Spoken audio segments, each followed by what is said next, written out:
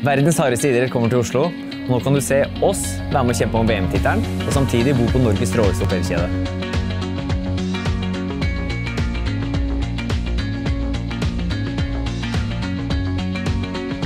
Vi samarbeider med Tone Hotels. Og sammen med Tone Hotels så har vi funnet ut en pakkepris der du får bo her, og du får med deg VM til en kjempebra pris.